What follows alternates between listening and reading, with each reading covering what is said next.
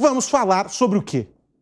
Eleições municipais. Opa. Já está aí, ó, batendo na porta 2024. E aqui em São Paulo, por exemplo, tem mais candidato que sei lá o quê. Não para de chegar candidato nessa disputa.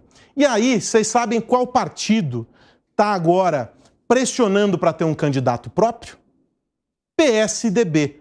Uma legenda importante aqui na capital paulista. Existe. Administrou por mais de duas décadas o Estado, tem uma presença importante aqui.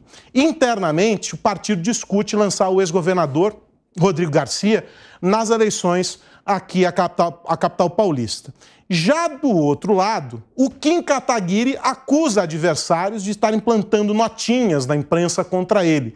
Segundo o deputado, o motivo seria o crescimento dele nas pesquisas de intenção de voto.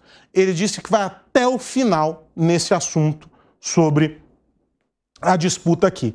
Como diria Jack, vou dividir em partes a nossa conversa. Uhum. Vou começar do fim para o, para o início. Kim Kataguiri, qual é a leitura que vocês. Primeiro, a, a, leitura é a seguinte: ele cresce nas pesquisas, mas ele entra no bolo dos que estão lá na frente, uh, disputando uh, de fato, com peso, uh, uma vaga, ou ele vai ser mais um daqueles candidatos que no fim aglutina com o outro para dar força a uma candidatura? E aí, Vilela? Olha, Aros, eu vejo que o Kim Kataguiri, muito embora ele seja um nome que é até interessante, eu vejo que dessa nova geração, ele e Tabata Amaral são os dois nomes que têm aí maior potencial para crescer, para desenvolver, é, para futuras candidaturas e tudo mais. Mas no contexto atual, eu não vejo chance nenhuma de Kim Kataguiri ser candidato a prefeito de São Paulo. Por quê? Por conta do seu partido.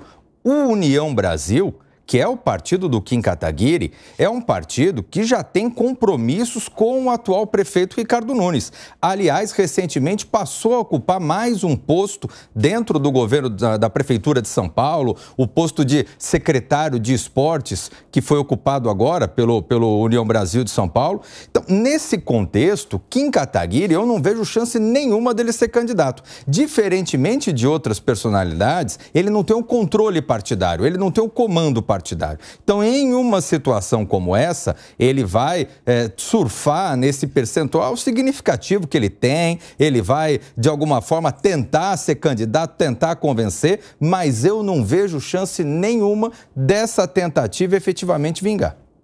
Ele falou que vai até as últimas consequências, que vai ter um choro de ranger os dentes, mas que ele vai até o fim uh, nessa história e que tem uh, condição de maioria para vencer é, uma convenção do partido. Agora é o desejo individual sobre uma manifestação partidária. Não que isso, em tempos recentes, já não tenha sido superado em outras, em outras eleições. Deixa eu receber quem está com a gente pelo rádio, são quatro e meia agora. A gente está falando sobre o Kim Kataguiri e eu agora vou ouvir o Piperno. Ele vai suplantar a maioria e, e vai se colocar como candidato ou vale o acordo político e o apoio ao Ricardo Nunes, que é o candidato aí que tem aglutinado uh, uh, os outros partidos? Eu acho que ele ainda não tem a musculatura suficiente para enfrentar dentro do partido, por exemplo, o Milton Leite, né? Gente né, desse tamanho aí. Né? É, eu acho que o caminho para ele é, é muito complicado. Não vejo esse crescimento todo ao qual ele se refere, acho que por enquanto é um crescimento oculto, invisível. Não, pode né? ser uma pesquisa, um levantamento ao qual ele tem acesso não tornado público. É, pois é, né? então, bem, bem assim, é, digamos, particular, oculto isso aí, né? Ele, agora, eu acho o seguinte, ele surfaria numa onda, por exemplo, que levou o, o, o ex companheiro dele de, de MBL e tal, Mamãe Falei, a 9% na última eleição. Né? Foi um percentual, convenhamos, bastante surpreendente. O Kim é muito jovem.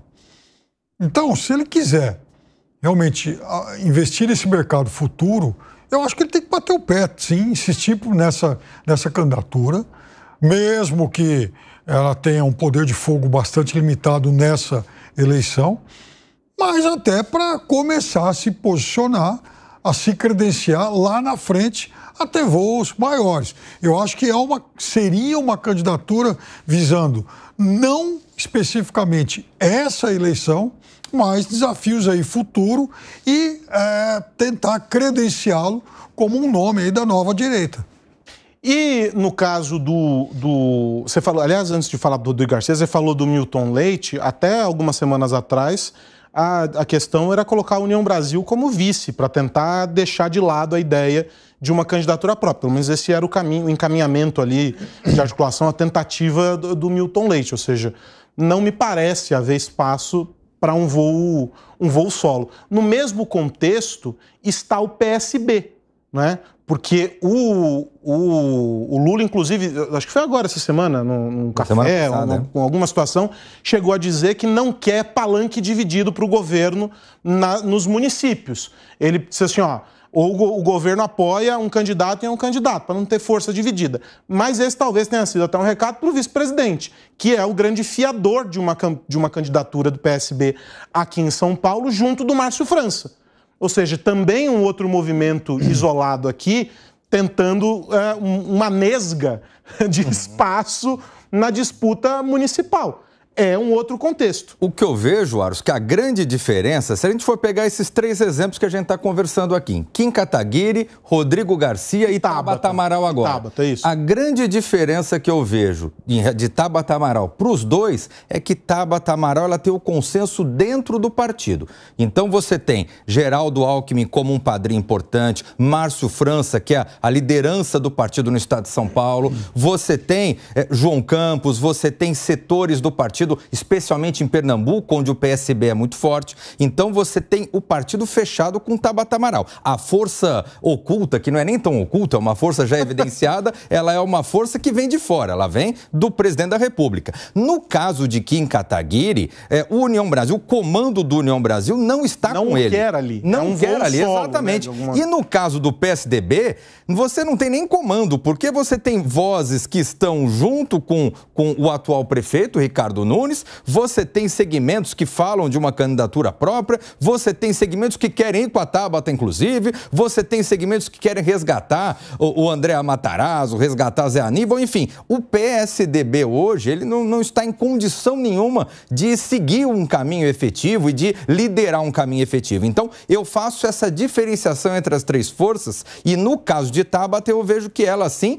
poderá ser candidata por conta do partido estar fechado em torno da candidatura dela. Ainda que isso signifique uma espécie de cisão entre o presidente e o vice-presidente, Piperno? Mas não vai haver uma cisão. É, é óbvio que o Lula não gostaria do palanque candidatura, dividido. exatamente, que desse palanque dividido e que, e, e por tabela, que a candidatura da Tabata prosperasse. Ele todo mundo sabe, joga todas as fichas dele aí no, no bolo. Bolos. Mas a gente tem que entender também o outro lado. O PSB fez uma eleição, fez duas eleições, aliás, de 14 e de 18, em que o partido apresentou crescimento nacional. Mas o tombo foi muito grande em 22. O PSB elegeu menos de 20 deputados, que foram 18. Perdeu mais de metade do, do que ele chegou a ter. Então é claro que ele precisa recuperar esse terreno. Não é ficando fora, não é abrindo mão de candidaturas pelo país todo que ele vai conseguir isso. Então, uma, uma eleição municipal, ela é importante até para preparar partidos, preparar máquinas partidárias e também candidatos para as eleições parlamentares seguintes. Né? Então, a eleição para prefeito desse ano ela vai certamente robustecer vários partidos visando a eleição de maiores bancadas em 26. Não que isso vá impactar em eleição para presidente, governador, nada disso. Mas pode dar mais quadros, pode proporcionar ao partido melhores condições para eleger bancadas maiores em 26. Não acredito, por exemplo, que uma candidatura da Tabata agora tivesse lá tanta chance assim de sucesso. Bora, em política a gente sabe que muita mas, coisa. Mas, de alguma maneira, afirma a posição do partido, Sim. representa a força do, do Alckmin, de alguma maneira, que é um recém-chegado à legenda. E aí, só como complemento a essa informação, a nossa colega Andréa Sadi publicou, agora há poucos minutos, uma fala do presidente do partido. Pode pegar, por favor, é. caiu aqui o senhor.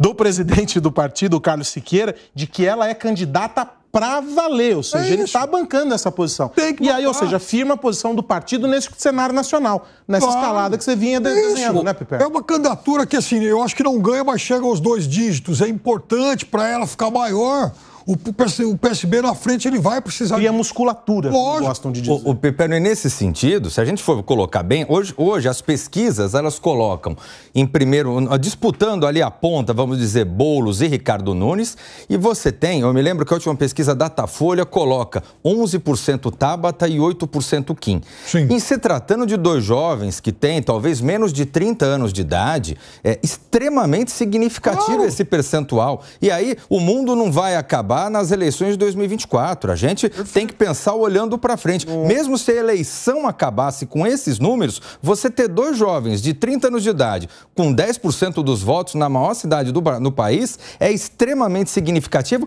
para que eles e os seus partidos pudessem alçar voos maiores nos, nas, outras, nas eleições seguintes. E aí, para a gente fechar esse ponto aqui, já vou, já vou mudar de assunto, o, o Bia, mas só para fechar esse tópico aqui, o Rodrigo Garcia, o, o Vilela trouxe rapidamente o ponto dele, mas eu queria ouvir você, Piperno, sobre o PSDB. O PSDB é, me parece ter se transformado em vários PSDBs uh, em diferentes instâncias, né? Hum. Nacional, os estados, municípios e tal. E aqui em São Paulo, isso é muito evidente. São visões dissonantes ali uh, para posicionamento do partido.